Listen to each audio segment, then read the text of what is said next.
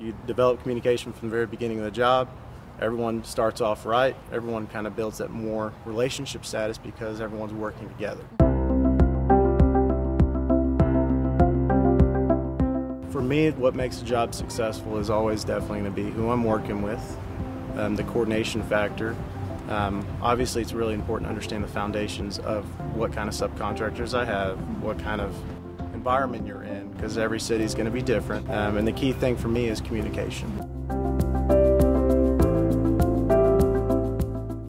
If you don't have communication in, in a job, in a job schedule, then one trade is going to be doing one thing or, or one project manager is going to be doing another thing to where you're not, you're not all implementing the same thing.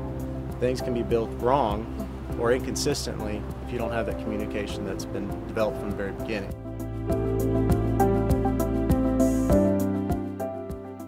As all superintendents, now we have all iPads.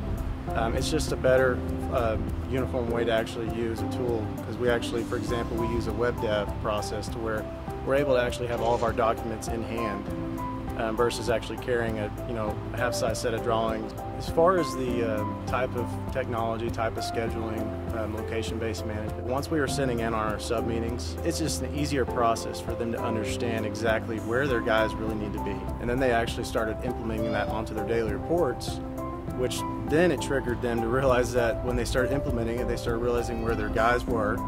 Um, it was just more of a quality control for them. When uh, when you go to a subcontractor and you show them how we're breaking it down, they actually can give you more input as far as coordination.